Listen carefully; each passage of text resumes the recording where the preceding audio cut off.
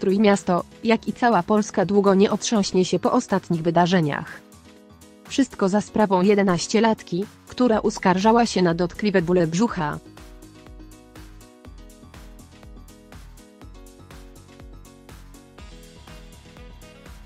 Gdy w przychodni okazało się, że dziewczynka jest w ciąży, natychmiast została przetransportowana do szpitala, gdzie urodziła.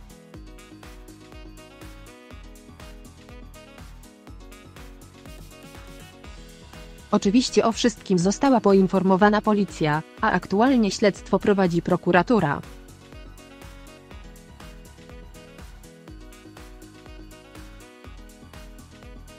Matka dziewczynki złożyła już swoje wyjaśnienia, a jej przesłuchanie rzuca zupełnie nowe światło na tę sprawę.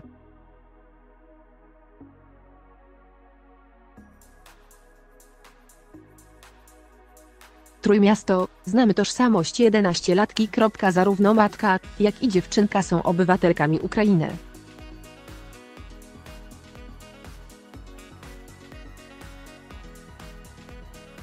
Kobieta już od dłuższego czasu przebywa w Polsce, gdzie pracuje, a swoją córkę pozostawiła w ojczyźnie pod opieką rodziny.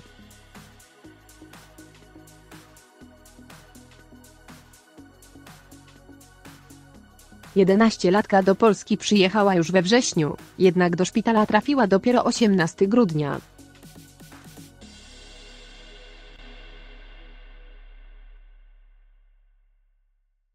Według informacji podanych przez Super Express matka dziewczynki od samego początku wiedziała o ciąży córki.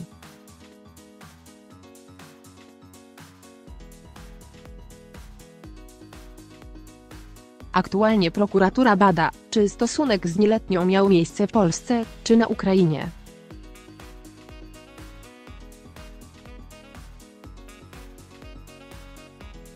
Z relacji matki wynika, że do tego czynu mogło dojść na Ukrainie, albowiem małoletnia dopiero od września przebywa w Polsce mówił Mariusz Duszyński z prokuratury okręgowej w Gdańsku w rozmowie z WP.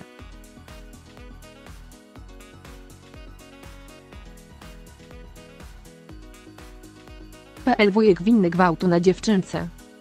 Według zeznań kobiety 11-latka zaszła w ciążę przebywając jeszcze w ojczyźnie.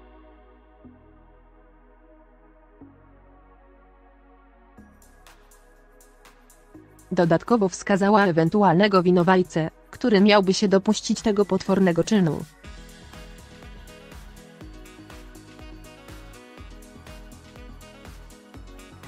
Według mnie był to jej opiekun, który jest wujkiem dziewczynki.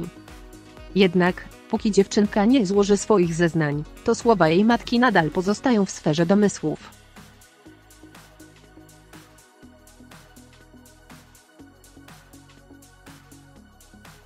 Kluczowym w tym momencie jest potwierdzenie zeznań kobiety, ponieważ, jeżeli faktycznie dziewczynka przybyła do Polski we wrześniu, to sprawa zostanie przekazana ukraińskiej prokuraturze.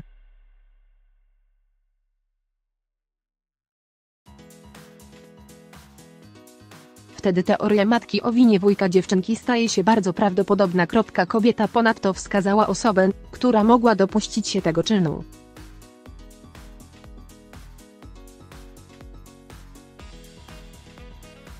Ale bez przesłuchania pokrzywdzonej są to jeszcze okoliczności niepotwierdzone kontynuuje Duszyński.